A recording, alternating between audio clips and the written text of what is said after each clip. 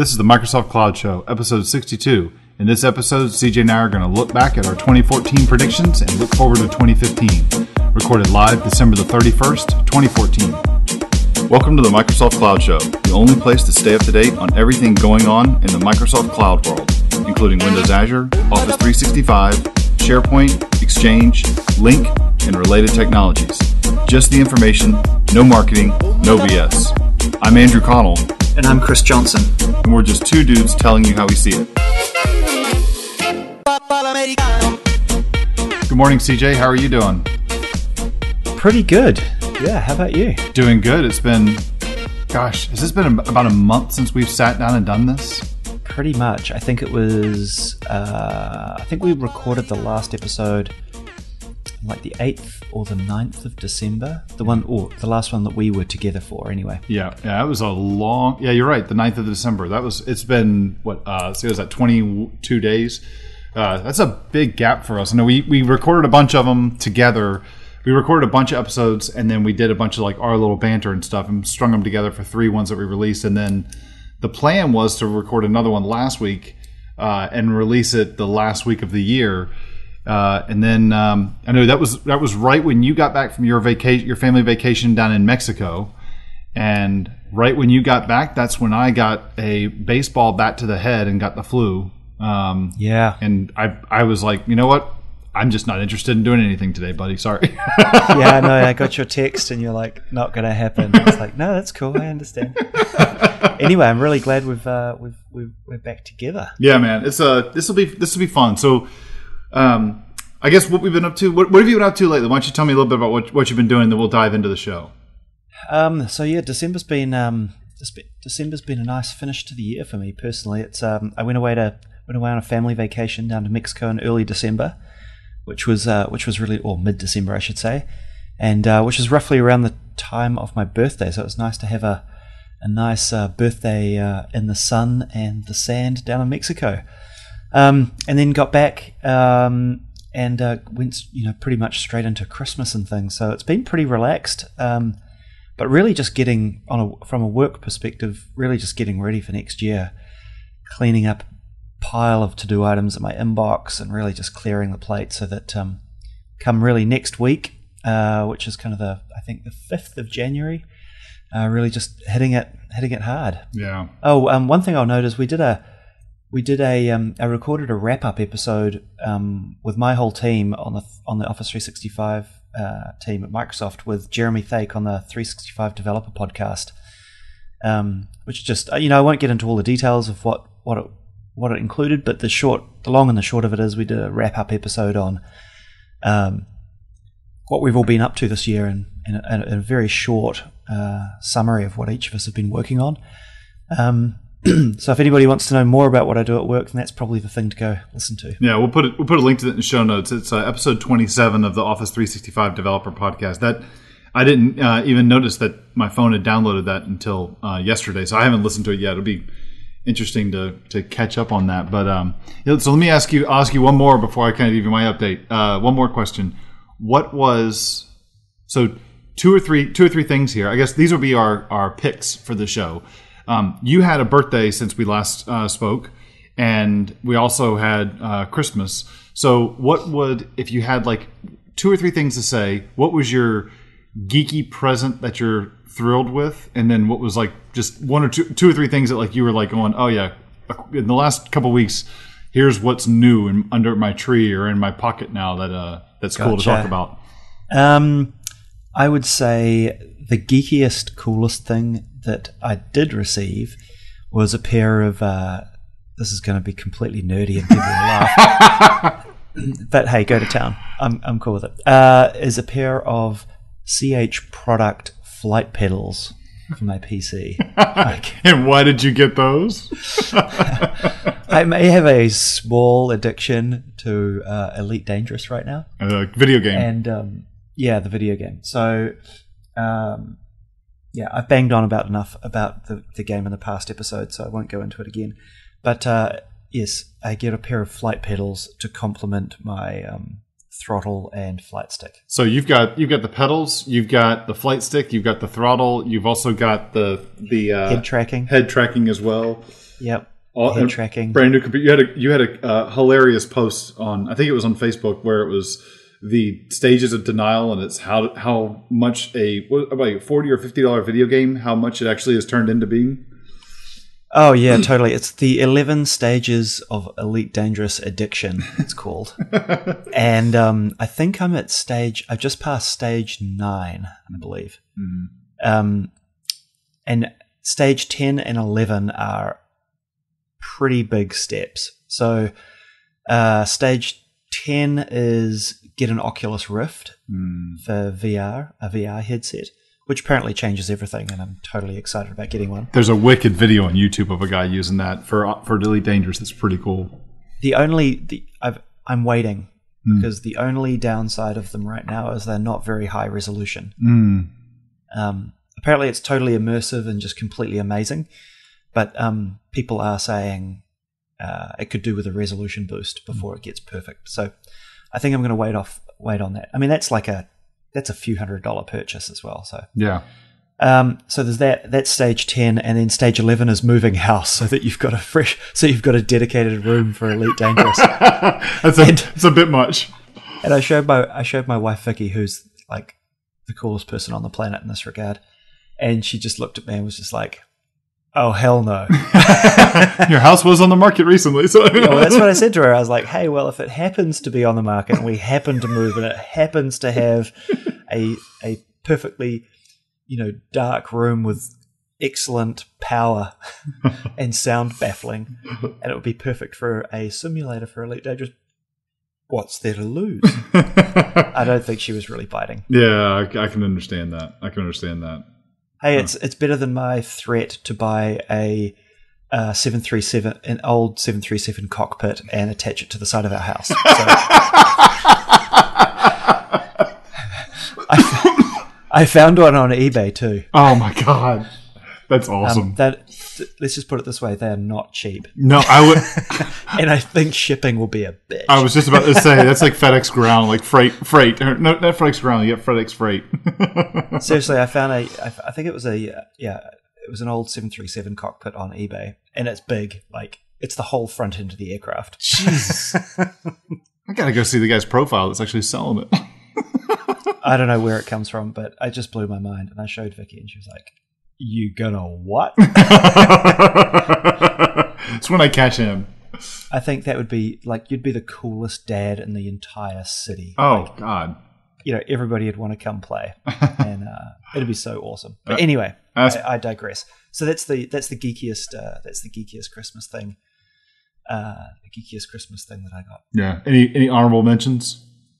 Um, I got Chris Hadfield's new book called uh, "You Are Here," Yeah. which is Commander Hadfield is the Canadian astronaut, ISS, Space Oddity rendition, all of that. Plus, he tweeted me from orbit, which is like, oh my god, totally cool. Print that tweet out, frame it.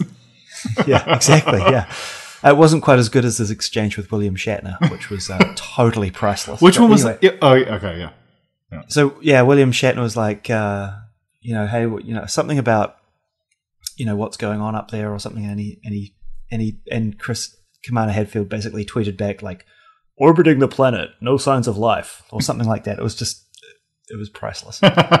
um, which so he's put a, a new book out called uh, "You Are Here: Around the World in 92 Minutes," and it's basically a collection of photographs that he took uh, on orbit, and it basically goes all the way all the way around the world. Mm. Um, it shows you all these different parts of the world, and some of them are just breathtaking. Like it's amazing. And there's a couple of uh, New Zealand shots in there. One of Mount Taranaki, which is um, the volcano, uh, which is right next to the city where my wife grew up. So that was kind of cool. Um, and there's some others in there as well. So it's yeah, it's a beautiful book, and, and but it's it's not a story. It's a, it's full of photos plus captions about the area of the world. Mm, that's on my list. Yeah, I wanted to. I, I forgot. I had seen a preview of that coming out, and then I saw you tweeted something about that or, or put it on Facebook, and it's, it's back on my list. Yeah, no, it's excellent. How about you? Uh, let's see. So I guess leading up to Christmas, uh, I walked into the uh, AT and T store and found that for the exact same price, I could ditch my existing um, hotspot and uh, pick up two brand new phones. And so upgraded the phones for both wife and I, and loving the new phones. And um, then treated myself to a new a new tablet as well. But um, as far as Christmas goes, the the by far the coolest thing that I got, which is again very nerdy, very geeky. Um, my friends know this that I'm a big Lego fan, but my wife was able to find the sold out and very hard to find Batman tumbler. Oh yeah. N- um, nearly 1900 pieces in five books, the five instruction books to build it. It is awesome. 17 inches long, six inches tall. The detail Yeah, I saw is your- epic. I saw your post on Facebook. It looks really cool. took me about six hours to get through, um, but it was it was very cool because I had we we commandeered the entire dining formal dining room table in our house. My daughter got a couple Lego sets. My son got a couple Lego sets. I got mine. My wife would get up like the day after Christmas. She'd walk in. There I am having a coffee. There the kids are having their apple juice, and we're all sitting here working on working on Legos. And we're all the the coolest part. My daughter is just ripping off like entire scenes from the Lego movie. That was just oh, it was That's glorious. I think I might have said the cloak of Ben Bendaid about thirty times in the, over Christmas. So, but um, hey, I just um I just found that tweet. oh, Uh, it says so. Uh, William Shatner said uh, tweeted Commander Hadfield, and he said, "Are you tweeting from space?" Question mark. And then uh, Chris Hadfield replied, "Yes, standard orbit, Captain, and we're detecting signs of life on the surface." that's awesome. It's like Captain. yeah, oh God, it's like uh, Captain Kirk and the real Captain Kirk. Yeah. Anyway, So- sorry. back to you. Yeah, so that was the geeky thing, and then the other thing that um, I've been wanting this for years, and I, I think you've got this set up too. I've been wanting it for years. I've never had the the guts to actually pull the trigger because it's not exactly a cheap purchase. But um, parents gave me a Christmas check as my big Christmas present, and so I went and promptly spent it and have the Bose Companion Five computer speaker setup that Oh yeah. is such an epic upgrade from a Dell speaker bar that sits under your monitors. It is. Oh, dude. Yeah, I have the Bose system in my office, and it's brilliant. It is amazing. I yeah, it's beautiful. So I love it when the kid when the family's out and I just crank it and start just coding away, whatever. But it's been good. So um, Nice. good break, good uh, good break. Even even battling the flu over Christmas for the third three out of four years I've been sick on Christmas Day. So a lot of fun. Oh, dude, remind me not to come around to your house for Yeah, Christmas. between the flu and strep and strep. So this time it didn't involve a visit to the emergency room, so I'm good. Yeah, nice. But, hey, uh, well done. Yeah, so I got that going for me. so uh, yeah, so hey, this uh, this episode enough enough kind of shooting the breeze a bit here. Um, in this episode, uh, you and I were going to kind of look back a little bit and look forward a little bit um, on uh, on some predictions and stuff. And um, let's first talk a little bit about our 2014 predictions. And I figure, you know, why don't we do? There's a there's a podcast I know that the, the two of us um, both listen to off and on. And I know that what they did is they kind of scored their predictions on a, a full point scale. So either zero points, half a point, or one point to see, you know, how you did and on the whole thing. And um, we each had five. We had, each had five predictions we did for 2014 that were published. We published them in episode 11. Um, and so let's go through those and let's kind of give a quick little scoring and see how each of us did, and then we'll transition to the 2015 ones. How does that sound? Yeah, that sounds good. Okay, so let me kick it off with your first one. So your first prediction was uh, you said the hockey stick cloud effect. 2014 calendar year is where organizations will sort of get out of their nerves doing stuff in the cloud. So that's what you said. That was a quote from the transcription. So it might it might have been a little jumbled there, but um, Yeah. yeah. So 2014, uh, companies were going to stop, you know, being so stuck on prem and, and you know open up to the cloud more. So how do you think you did on that one? Um, so how are we going to score ourselves? Should we give ourselves like half a point for moderate success and, and one point for total success? Um, yeah, it's. I mean, total success. I don't know if it's, if anything can be really absolute. There's only one or two things Yeah, that we fair. have there, but you know, if you feel like it's like, yeah, I pretty much, I think I got that one. Obviously, you won't get Okay. 100 percent on this one. I think um, I do. I do think this came this this came true. I think there's still. Don't get me wrong. There's still tons of organizations who are still nervous about going to the cloud, but I feel like this last year was was the first year where it was not dismissed as a as an option, right? Where people were were serious about the decision and and about the discussion about whether the cloud was right for them. And so, um, definitely from you know from where I sit work wise and in my profession, like the discussions have gotten tons easier and and organizations are getting it. They realize that it's inevitable and really it's just a matter of putting their plans together rather than dismissing it entirely. So I do feel like this last year was was a big um, was a big transitional year for organizations in, in deciding to move to the cloud. Um, I don't think it was necessarily the first year where it was uh, ultra amount of usage yet, right? But I feel like it was them getting over the bridge. Yeah, I, I agree. I, I'd give you a full point on that one too, because it's a. I think that you've seen a, a, a lot more companies. Well, first, I mean, the adoption of 365 is blowing up. We see that the cloud news is everywhere. You see cloud disruptions. Um, really impacting a lot of businesses, not just startup businesses, but a lot of enterprises as well. Um, so I think it's a yeah, I, I, would agree that I think companies have gotten a lot more uh, open about using the cloud, and we still have you know it'll be, it'll be nice to see when government I think catches up and changes rules and regulations around certain uh, verticals and industries that are have trouble going there because of where data sovereignty has to be and all that kind of stuff. So yeah, I, I, it'll be nice to see when that stuff changes. There's a lot of that to work out yet. Yep.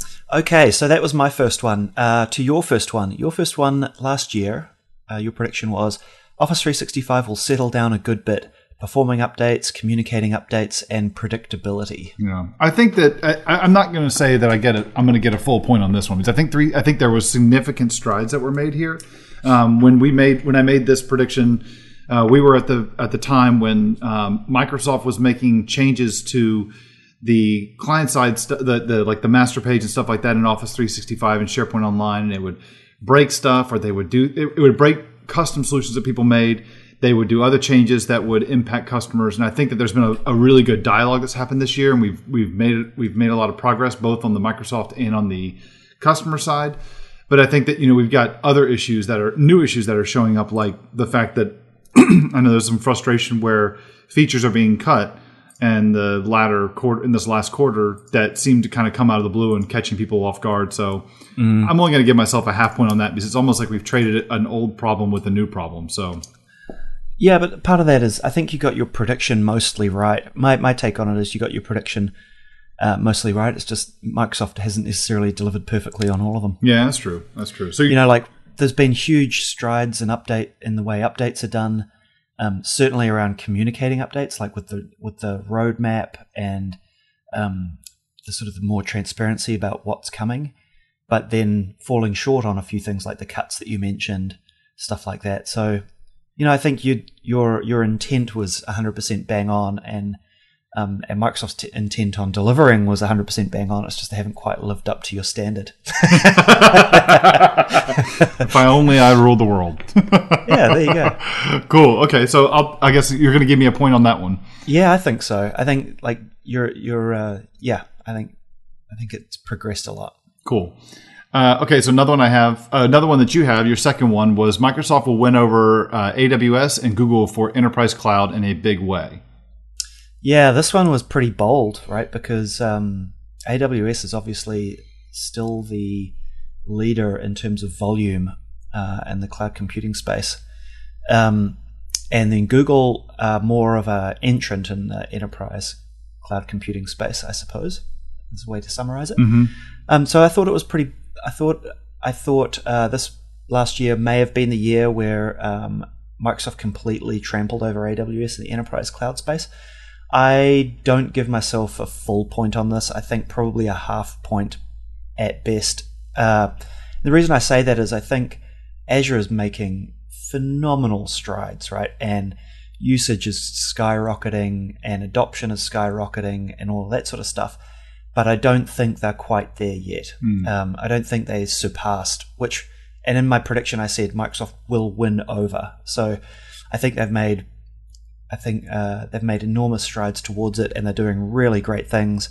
Um, but I don't think it's that prediction has paid off this year. Mm. Um, I think they've still got a little way to go um, before it's a comp- before Microsoft takes number one spot in enterprise cloud over AWS.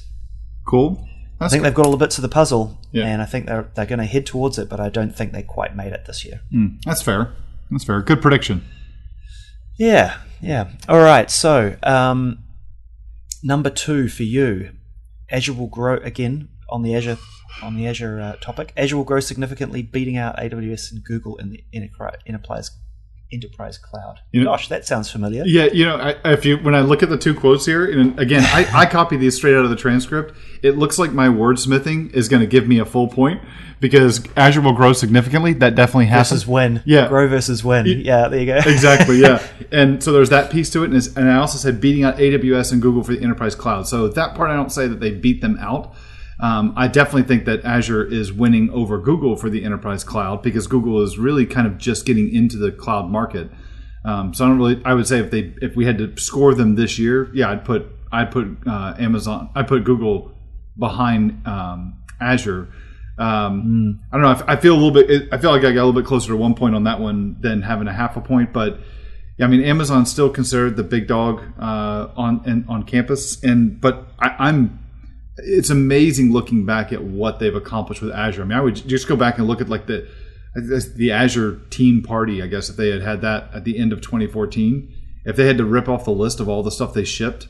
I would have been. I was like going, please, you guys open the bar before you start going through this list. yeah, totally. take forever. It'll take a while. yeah. So, all right. So Yeah, no, I think I think in general both of these point both these predictions, right? Azure doing massive leaps and bounds and growing phenomenally. Um, but I still feel like they've got a little way to go Yeah. to get past AWS. Yep.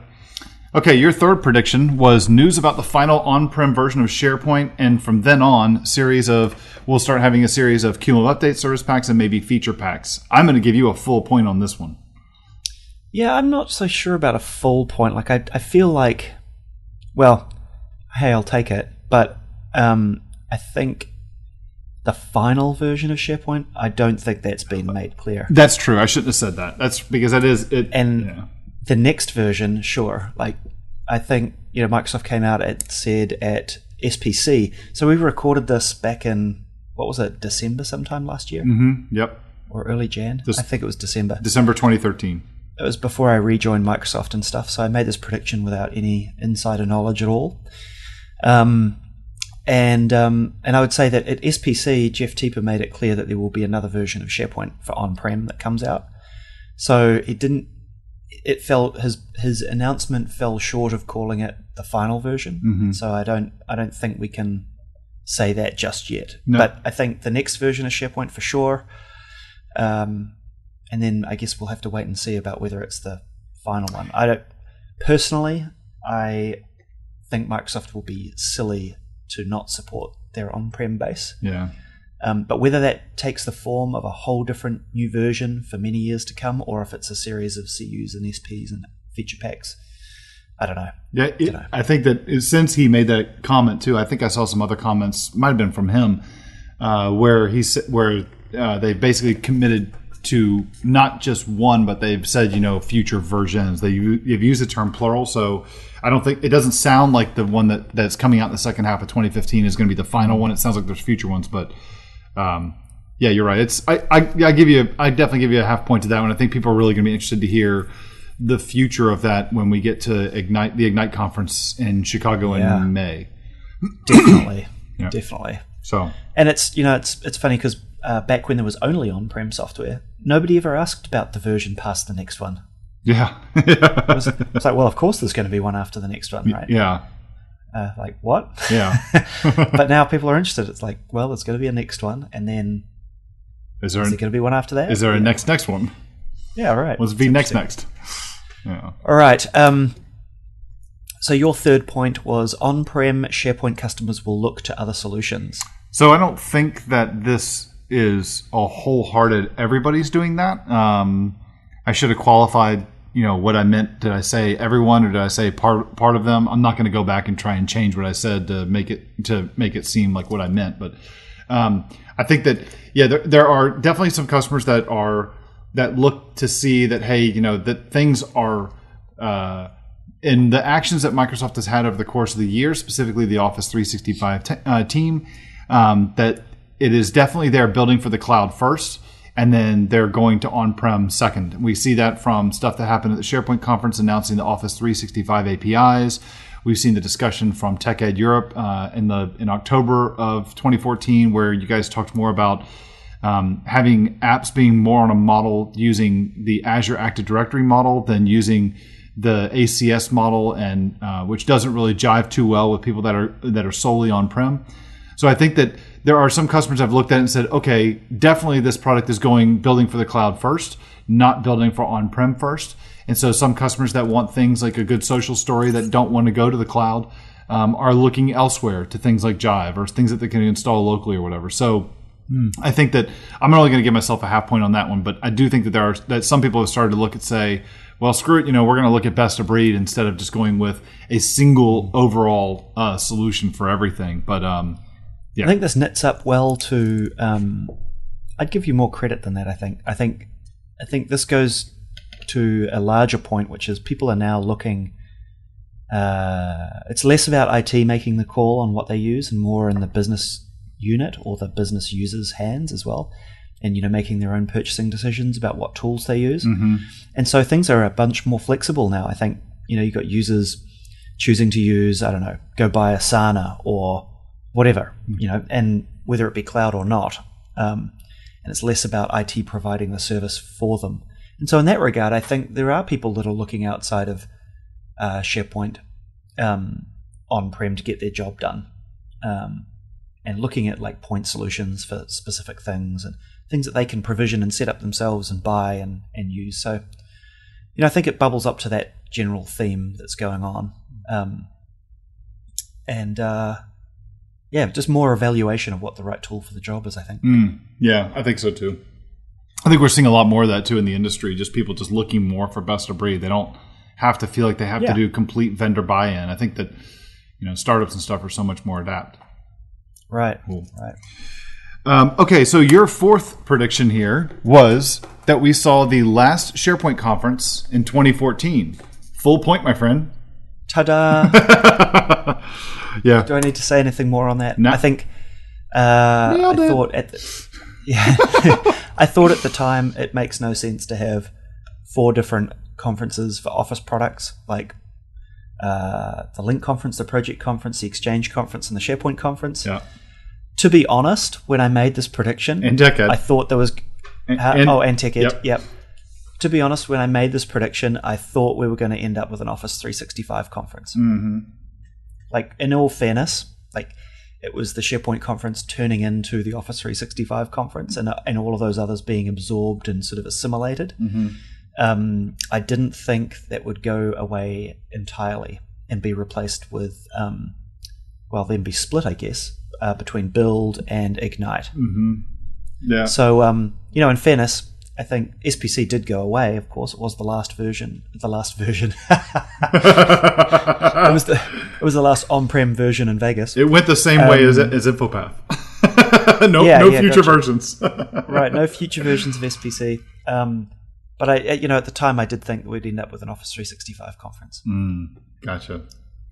Yeah. So from my so from my point of view, like the background behind it, I don't think it, it happened in exactly the same way as I thought it would. But you know, end of the day, it did go away. You know, I, and I, I, yeah, I'm going to give you a full point on that one because I felt the same way. I felt that it was going to be the last one, and I also felt like we were going to be looking at an Office 365 conference. Um, I don't know. I'll be curious to see how Ignite goes uh, and what the response is from customers, uh, both responses from customers, what the response is from the influencers, what the response is from Microsoft. I'm curious to see how the whole thing goes. I personally, I'm, I'm registered for it, but I'm personally on the fence if I'm going to cancel or not and go, um, just because I wonder how much value that I know that, with it being such a big conference, how much value you're going to get. Um, somebody like me is going to get out of it. Um, so, but it'll be, I'll be curious to see, very curious to see where this one goes.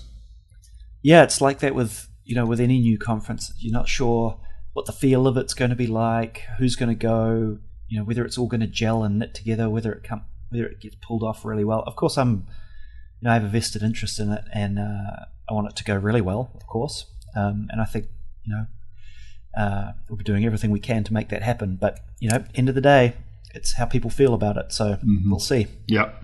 Yep.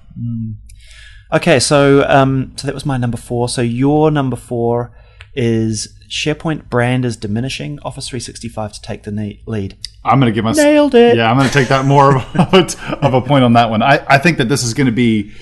Uh, there, not only did this happen so much more now, um, but I think that you're going to see the pedal get even pushed down even farther on this one going forward. Um, this is SharePoint. Just I don't think that to me SharePoint the brand doesn't really make a whole lot of sense anymore. SharePoint is a name for a collection of enterprise capabilities and features that come out of the box. Um, but I and I think that you're it, it's going to be harder uh, for people to be able to. Well, I should. That's getting into prediction stuff, but I think that I think that going that looking back, that people are talking more about Office 365 as a whole and less about the SharePoint piece of Office 365. They're looking at it more as a whole. We th- see things like the app launcher, which span across the entire product. We see things like um, how the Office 365 APIs really don't do anything with SharePoint. They do something with everything but SharePoint and 365. So yeah, I'm I, I think that we that, that definitely is was the case in 2014, and it's not going to be a 2015 prediction, but I think it's going to be even farther in, going forward. Yeah. So okay, okay last No, go ahead. last Yeah. last predictions that we both had. This turned into a wager. It certainly did. So And uh, it was so it was for the CEO, the next CEO of Microsoft. At the time, we didn't know, and it wasn't decided until what was it, February, I think. Haha. Got- yeah. and we made a fifty dollar bet. Uh, there they are. There's my fifty bucks. I see we're doing this over Skype. I can see my fifty. Bu- Is it still going to be there when I get to Redmond next week? Oh, of course it will be. But of course it will be. Will it make it to my pocket? Oh, yeah, exactly. that is a whole different kettle of fish. Here, I'm taking a screenshot so we can post it in the blog. so the prediction was is that who's going to be the next CEO of Microsoft, and you said that you thought you were hoping that it was going to be Stephen Elop. Yep. Your you your prediction was it was going to be Kevin Turner. My hope Yep. and my prediction was both for Satya Nadella, and I nailed it. And you, You certainly did, sir. And you know, I'm I am extremely happy that you nailed it. uh, I was trying to play the the safety card, I suppose, which was um, I thought it was going to be. I hoped it was going to be Elop, but I thought it was going to be Kevin Turner. Yeah. And in hindsight, uh, I'm extremely glad you got it right. I am. I I, I'm more than happy to give you your 50 bucks on this. Jeez, I'm good for it, man. one point for me, zero points for you. Um, Yeah, that's right. I, I think that I think that um, I'm just looking at our score here, and I beat you. Uh, was it one, two? Th- I beat you four to three. Um, Ooh, nice. but um, I, you know, this guy, what he has done in the short time frame with Microsoft, and I know you know a lot of products are in, in the works for a very long time, and a lot of stuff was you know that was announced uh, under his tenure uh, was stuff that was well in the works before he got there. Um, but the tone of the company changed almost overnight. And there are things that I never would have predicted, like him standing on stage and saying 20% of all the virtual machines that we run in Azure are Linux VMs. Yeah. That that kind of stuff, or saying, I don't care what kind of a customer you are of Microsoft. If you have one Microsoft thing, if it's a hardware, software, whatever, then you're a Microsoft customer. You don't have to buy into the entire company. That I I find that to be so freaking refreshing. Love the guy. It's very very cool. Yeah. No, I agree. It's um it's been very refreshing and uh and I'm really glad really pleased with how things are going with them. So it's um I'm obviously bullish to see what see what comes next and see his leadership really take hold and and um you know a lot of this year was about turning the ship or starting to turn the ship hmm and now putting the pedal down and accelerating is is um or delivering, I suppose. You know, Mm. it's one thing make lots of headlines, but it's another thing to follow through. So I'm bullish about this year, and I hope he's uh, hope he's really successful. Oh my God! What the company's the company's stock even sat around? No, Wall Street likes it too. The company's stock sat around twenty to thirty for. Well, I know the entire time I owned it, unfortunately, but well, like ten years. yeah, yeah. Under and then since then, I think what is it now? Is in the fi- is it fifty or so now? So not quite. It dropped back a little. It got um, it got up there, but it's now at forty seven seventeen. Still There huge bump. It was a, I know it was up it was up pretty high for a while. So uh, cool move. But um, Yeah, yeah. It was um, it's obviously good for shareholders too. Absolutely. Uh, except for those of us who sold who are tired of waiting. But anyway. Um, Yeah.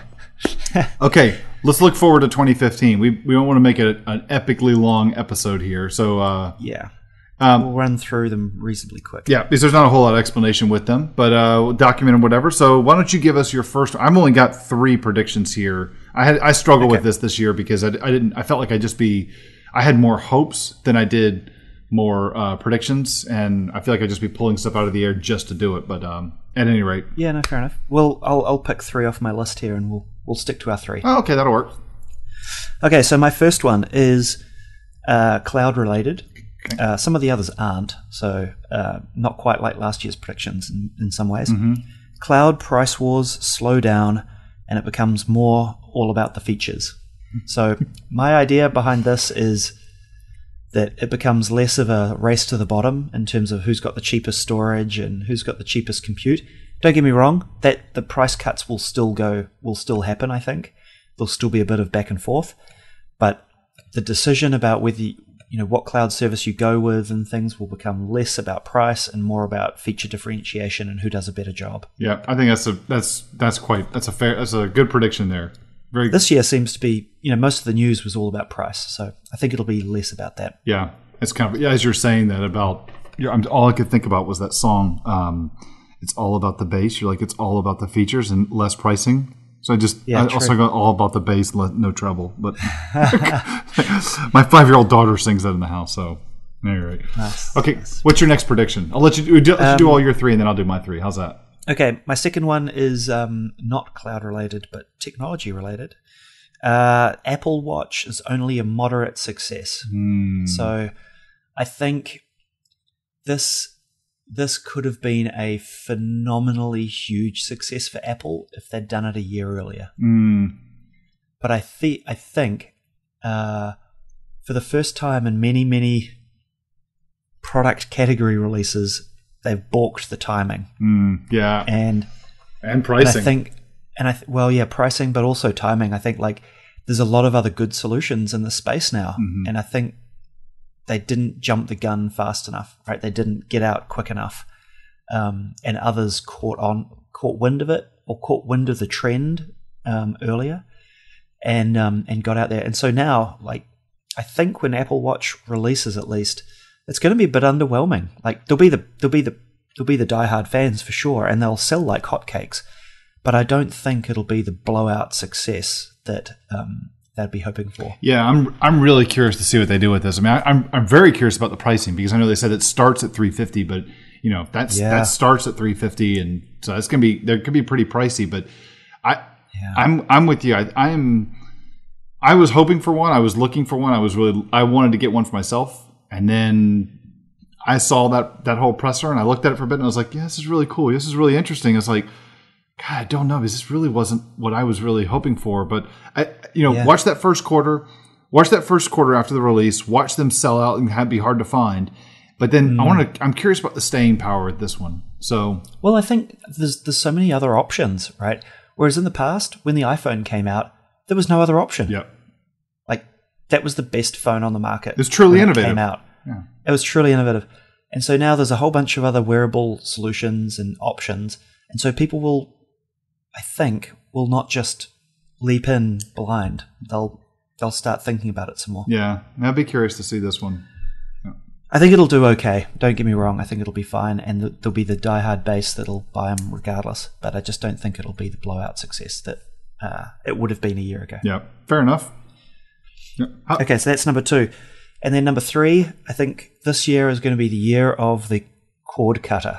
And so this is more so a US thing than I think a lot of other countries uh, that I know of anyway, where um, this year feels like it's got all the stars that are aligned for people that want to cut the cord for their TV cable companies and buy or subscribe uh, over the net um, to the shows that they want to buy. So, like either with, whether it be Xbox or iTunes or Amazon or HBO Direct or whatever it happens to be. I think this year um, is looking like uh, the content producers are also interested in going direct to the consumer. Like HBO uh, have announced that they're going to offer an untethered option, so to speak, Yep. to be able to buy HBO Go from HBO as opposed to having to go buy a bloated, painfully expensive cable subscription to get HBO. Yeah. If you just want HBO. I yeah, I, I agree with you on that one. I mean, it's I, I was really pumped to see when this whole thing with that movie, The Interview, and the hacking thing, and it wasn't on, then it was back on, and then it released on some theaters, but it went online. The thing that I was the most eager to see was what was the what were those online streaming sales going to be like? Because for me Yeah. personally, I I hate going to the movie theater. I hate going to movie theater when a new movie comes out because I hate just being interrupted with everything. I hate when people are talking around me. I hate you know not getting there early enough and not getting a good a good seat, not being able Yeah, to pause it. seats. I got to go take. I got to go use a restroom and I'm gonna miss part of the movie. Um, I I hate. I'm saying that our family does a tradition where we our our New Year's Eve is we go watch a, a movie and then we go out and go get burgers afterwards and we get home before all the crazies are going. So we're gonna go see Big Hero Six tonight and nice. go- That's a great idea. yeah, go get burger. We did. The, it was I have. It was because yours truly was super lame on a New Year's Eve date when I was dating my wife. My current my uh, shoot. God, that's gonna sound bad. my current only both past and present and future wife. I should say. But uh, when I was dating, my, when my wife and I were dating, uh, we went. We didn't have plans New Year's Eve. We went out to go see a movie. We walked out. There was a burger joint across, and I was like, "Going, do you want to get some dinner?" She's like, "Yeah." I was like, uh, "You want to just go there?" I was. Compl- I had no creativity. She's like, "Yeah, okay," and it turned into a cool little tradition. And now we're doing it all the time. Except we've got little kids now, so we can't have to go see little kid movies on it. But um, we rarely go out and do our. We, we now every once in a while go go out and like do a party kind of a thing. But I'm very much looking forward. You could you could always do the teenage thing. You could put them in the row in front, and then you guys could sit in the back row and make out. Can't do it. I got a nine and a five year old. I don't trust her all the way up there.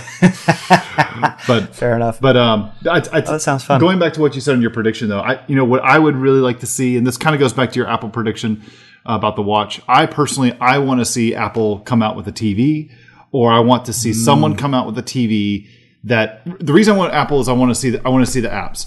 To me, let's have. I want to blow up the. Cha- no, that sounds bad. Get rid of all the, the the current producers of all the content. I mean, the DirecTVs, the Comcast, the Time Warners.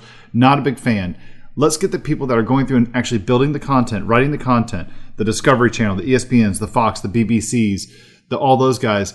Let's take all that content. Let's have them build an app. Let's put the app on my TV. And when I want to watch a TV, I don't watch a channel. I go to an app, and when a new show comes out, that show is released as of this time, like a movie, and I can go watch it right then, watch it live, which isn't really live, but it's more or less recorded, kind of streamed sure. or I go through and I watch. Uh, I go do. I go watch the um, uh, previous recordings of it, and I'll pay for each channel that I want instead of paying a subscription that is covering 250 channels, and I'm only watching six of them. Yeah, I think this is going to be like, um, you know, HBO. It's going to follow the HBO model. HBO held out doing this for the longest time, right? The only way to get HBO in the states, at least, was to buy through cable company, mm-hmm. and people despised it, right, for the longest time. And finally, I think the mathematician at HBO or the you know the financial forecasters and all that have finally got to the point where they're where they've ticked the box to say, okay, now we can still now is the tipping point. If we make the decision now, we will keep revenue. Uh, whereas if we stick with it longer, we've got the potential to start dropping in revenue. So I think they finally got to the, uh, this is complete, you know, guess, right? But I feel like the mathematicians are saying, or the financial modelers are saying, now is the time that it's okay. Whereas in the past, I think it would be premature from a financial perspective, but now I think is a good is a good time. I think. I mean, there's so many different reasons why I think this is a good option here. I mean, part is we've been frustrated with it, but I think that uh, you see what the HBOs are doing. You see what the the newer guys like the Amazon. Uh, uh, Prime Video or streaming instant video. You see what Netflix, you see what Hulu's doing. You pay for subscriptions, you go watch your content. You see what the sport, the, the different sport networks are doing, or um, professional sporting uh, uh, leagues are doing as well. The NFL does it where um, you could buy a package through DirecTV next year. Direct or this year, I think DirecTV was selling the package without a subscription. You could buy just the NFL Sunday ticket. You could buy it straight from the NFL. Um, I mean, where do where do these companies get their money from? That where do these where do these content companies get their money from? They get it from um, the different deals that they set up from the subscription rates from a DirecTV, from a Comcast, from a Time Warner, from an Xfinity, but then they also get it from the advertising companies. But what sucks is that you know the advertising companies you're broadcasting all this this advertising out to only a demographic that is going to watch that that TV show based on the ratings.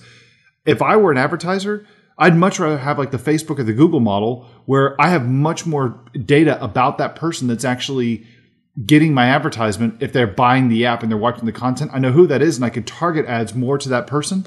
And as a consumer, I'd rather have targeted ads than driving down the street and seeing crappy billboards for some, you know, injury attorney or something like that that I have no interest in. Let me see stuff that's targeted for, you know, hey, look, here's this new Xbox game that you might be interested in, or here's a brand new Lego that's available on sale at this comp- at this business over here. Like, dude, that's targeted to me. I'm interested. Yeah. That's going to sell. Also, I'd, I'd rather pay a lot of money and just get rid of ads. Me too. I'd much rather pay more and get rid of ads. That's what bugs me about Hulu Plus is that you pay for a subscription and it still has ads in it. Dude, I'd pay three times as much if you just got rid of the ads. Yep. I don't know if that makes financial sense still. Maybe it has to be four times as much. Maybe it has to be twice as much. I don't know. But I'd pay a good deal of money more to not deal with that. I- anyway. I'm right there with you, man. I'm right there with you. So Uh, so yes, those are those are my three. Uh, you got the first one on. Uh, sorry, mine were cloud price wars slow down, Apple Watch only a moderate success, cord cutter of the year. Then, um, I think it was it. That was the three. yeah, that's right. Yeah, that's right. Three. Very cool. Good predictions. Okay. So I've got three that are all, I guess, kind of uh, techie slash our world kind of thing. Um, so two of them are going to be, uh, one of them is going to be SharePoint focused um, because that's kind of where we come from. So, um, God, I might lose a lot of friends by saying this.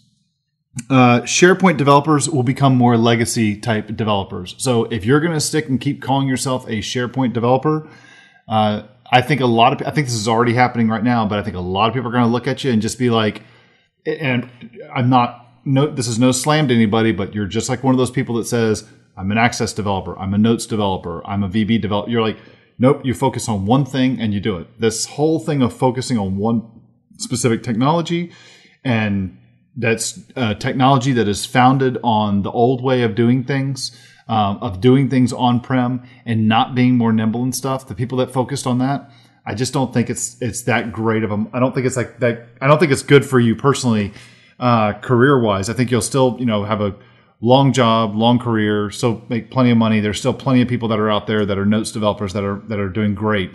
Um. But it's not a forward leaning kind of a thing, and I don't think it's it's something that is. Uh, at least for me, it definitely is not something that I would, the way I would put my chips. Yeah, no, I, I agree. I think I don't think those folks will be out of a job, like you said, right? I think there'll be plenty of work around for SharePoint developers for many, many, many years to come. But I feel like if uh, if if you want a future-proof role and one that's you know you get to use the newest, coolest stuff, then I think you got to start making the leap. Yeah, I, I agree. I think that everything is going, everything's built for the cloud. That's where everybody is looking for new stuff to happen. And you can stay on prem and say that's where I'm going to focus. But I, me personally, I'd much rather say all I do is Office 365 stuff. I don't touch any SharePoint on prem. And thankfully, I've been able to. That's been my business for the last few months, but um, or more six months plus. But it's. Uh, I think that you can see more and more people doing that going forward. I think now it's also a good time for people to make that call. Like, I, you know, it's totally fine if you just want to stay building SharePoint stuff on prem. You're going to have plenty of work, like I say. I don't think you're going to be out of a job anytime soon. Um, but I think now it's a, if you do want to be just building stuff for 365 or doing, you know, uh, you know, things using other technologies and stuff. Now you can actually make a viable business out of it. Yep. Like there's enough, there's enough going on that I think it's a, uh, you know, maybe in the last six or nine months max, probably Yep. you've been able to make that call and just do it. So I agree. I agree. Okay, so that's my first prediction. Um, my second prediction is this is going to be. I, I'm not. I have a hard time figuring out how exactly to phrase this, but essentially, I think that the the, the people that are specializing um, in the that have been more of the quote unquote Microsoft developers coming from the places like um, SharePoint developers or Office 365 developers or uh, Windows client developers or web uh, ASP.NET developers. I think that the majority of those people we are not looking so much at staying just one vendor and having such one vendor lock into all this stuff. I think we're going to see people that are moving more to having much more cross openness into stuff that they're building. So, for example, uh, Microsoft is already adopting this, and they're really trying to get ahead of the curve on this by having tools that we can build iOS apps uh, inside of Visual Studio and building apps for Android inside of Visual Studio, adopting things like the Cordova platform and um, Xamarin and stuff. Um, also taking uh, uh, the .NET framework and going open source. But I think that there's a there's many of there's many people that are out there. I'm definitely one of them who I'm still doing Office 365 stuff, but I'm not doing it so much with like these days. I'm not doing it so much with with uh, uh, so many Office, so many Microsoft development products. I'm doing a lot of stuff with Node, doing a lot of stuff with JavaScript, doing a lot of stuff with Angular, a Google product that's building on top of it. Um, doesn't make you any less of a Microsoft person it really opens your mind up. And I, from a personal experience, I think it's a good idea for people to, to really kind of embrace this because it mm. gives you a little bit better perspective on where things are are, uh, are going, um, and what other options that are that are out there. Um, it's been yeah. I, th- I think it really it, it will help. It not only it, it not only was it going to help you be more marketable, but I definitely think it's also incredibly uh, good for for Microsoft as well. Yep, I think the um, when you go build stuff, it's in the past it used to be what technology stack you picked, and now that stuff's just the glue between services. Yep, I totally agree. Right, and you know it's maybe glue is a slight underestimation, but you know really what you're doing now is building solutions using you know by gluing things together from a set of services, whether that be data storage service or a document storage service or some sort of other service that processes data or something like that. And um, and now it's you know it's we're becoming a whole lot more technology agnostic about what that glue happens to be, and you pick the best tool for the job. Mm-hmm. Yeah, I agree. I agree. I, I this is this is going to build off on what we've talked about. Uh, for all of you that are listening, well, I guess everybody is listening that I'm talking to right now because otherwise you wouldn't be hearing me say this. Uh, I think CJ and I are going to are going to kind of steal a page from some of the other podcasts that are out there, and we might do a couple um, geek out sessions where they may not be so focused on just the cloud, but they might be in and the Microsoft cloud, but it might be just a complete random session uh, episode we talk particular about. like a topic, yeah, like the SR seventy one Blackbird, maybe. Oh God! Don't start me! Don't start. You know, you know, I won't stop. oh man. Um, yeah, so but we'll we'll uh, we'll try and be clear in the title and mark those episodes very clearly, so that uh, if it's not a topic you give a crap about at all, yeah, you could skip. Yeah, yeah, you'll see the you'll see the geek out. Uh, we'll definitely put geek out in the title, so you'll. Um, I'm curious to see the metrics from that. Do a couple, do like two of them, and then see how many people downloaded it and how many people actually uh, can't, how many more actually download. It. I'm curious to see which way it goes. Totally. So yeah, that'll be interesting. Okay, so my third um, prediction uh, for 2015, and this one is going to be hard to measure. Um, I don't really know how we can measure this when we come back to it, so I might just be setting myself up for a zero pointer. Um, but uh, I think a lot of companies, a lot of people are both consumers and companies um, have been so conditioned to looking for to a company to provide something to them in the sense of what is Microsoft going to sell me, or what is Ford going to sell me, or what is uh, Amazon going to sell me? Or Google going to sell me. Um, but instead, now I think that one of the things that we're seeing really take off are this concept of Kickstarters and this concept of the Indiegogos and this concept of um, startups of being able to have a much more small products that individuals are coming out and doing. Um, mm. We've talked about doing a startup that you know we we won't go there right now, but about doing a startup that you know something that we're working on. Um, I've got uh, uh, somebody in my family who was full time with the company. She's gone full time now into building her own like uh, bath and, and beauty uh, products and stuff, and that's what she focuses on. She's got her own little business that she's doing. I got a ton of friends that are just they've quit their main their mainstream job. Quote I'm doing air quotes around mainstream job, and have said I'm going to go do my own thing and being able to kind of have their own uh, their own little personal marketplaces. These great sites like Etsy have kind of has spun, spun up around it. So Yeah, it's amazing, isn't it? I think that I think that businesses are going to be so much more open to do to doing these things with customers uh, uh, and customer and business and, and with vendors and saying, I don't need to have a you know this thing coming from a Microsoft or something like that. That I can have a little tiny point solution product that comes from these other guys. They only pay five dollars a month for. Or I pay you know twenty dollars for something like that. yeah. I think that's going to be embraced more. I guess what I'm saying in 2015. Yep. No, I think that's totally uh, that's totally valid. I think it's uh, you know, whether it be putting yourself on the web and marketing yourself, creating the products, fulfillment, distribution, sale, selling, all that stuff has just all of the power has been disseminated uh, uh, in such an interesting way recently. You know, for folks that want to create something and sell it, it's so easy now, Yeah, we right? Um, ton easier. we- we've got this we've got this event um, in where I live called uh, and it's it's actually gone international now, but it's called One Spark.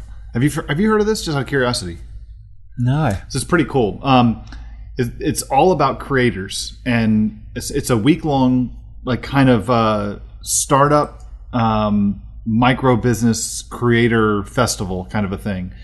And what they do is they, they block off a bunch of this big area of, of downtown um, Jacksonville, Florida, and uh, people come in, they register themselves as creators, they put up little booths, and it's kind of like a little mini like festival slash conference where everyone goes through and they all they they they show their wares and, and you can buy stuff from them at the time or they're looking for funding or whatever and they, they register themselves and then they have this whole voting model and they've raised a bunch of money from these different vc guys that if whoever gets the certain number of votes that thing will get funded. And so like last year we had things like uh, a new aquarium in jacksonville we had another one where um, a new product this guy was doing. Um, the owner of the Jaguars, who's a billionaire, um, donated a million dollars towards the thing. It's it's really really cool. It actually it got a lot of uh, interest outside of Jacksonville. They held one in Berlin, uh, Germany, as well last year. Um, they've done it now two years in a row, and I've missed both of them due to being at a conference uh, over in Europe both times. But I can't wait to be there this April. They've got a whole like speaker summit, and the dude from um, you know the TV show uh, uh, Shark Tank or yeah Shark Tank. Yeah, or Dragon's Den in the UK. Yeah, yeah. Yeah. Uh, one of the guys on Shark Tank in the U.S. Um, oh, I just forgot his name, but he's the he's the guy behind the the clothing line Fubu. Um, Oh yeah, Daymond Johns. Daymond, yeah. he's going to be he's one of the keynote kind of speakers for a whole speaker summit kind of a thing. So. Uh, yeah, I, th- I think this whole like micro business kind of a thing is, is just going to get to be bigger and bigger and bigger, and it's um than than it is today. So, yeah, providing a lot more op- options for people. Yeah, no, for sure. Yeah. Cool. Cool set of predictions. Yeah, they're. You've got your three. I've got my three. So my first one was that I think that SharePoint developers are going to become more legacy if you stick your heels in the ground and try and stay with being a SharePoint quote unquote developer, being on prem or even in the cloud. Uh, Yep. I think you're going to see uh, Microsoft developers generally have a, a more openness to different um, platforms and different technologies and being able to leverage things that are not just Microsoft E.